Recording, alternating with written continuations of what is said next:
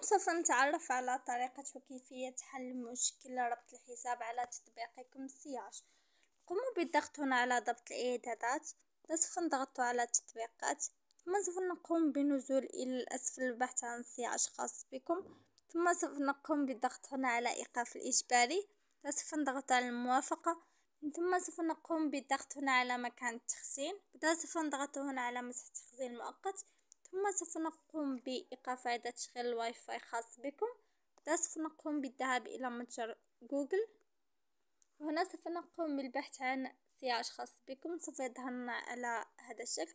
وعندما تجدون هنا تحديث قم بالضغط عليه وسيتم تحديث تطبيقكم ال CIH وهكذا نكون قد قمنا بحل المشكلة.